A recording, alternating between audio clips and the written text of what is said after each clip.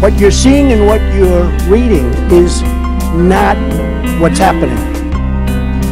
The Mueller probe should never have been started. President Trump also called the investigation a witch hunt.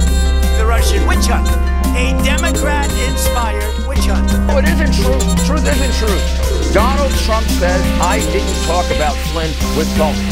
Comey says you did talk about it. So tell me what the truth is. President now saying that the purpose of his son's Trump Tower meeting with Russians was to get information on Hillary Clinton.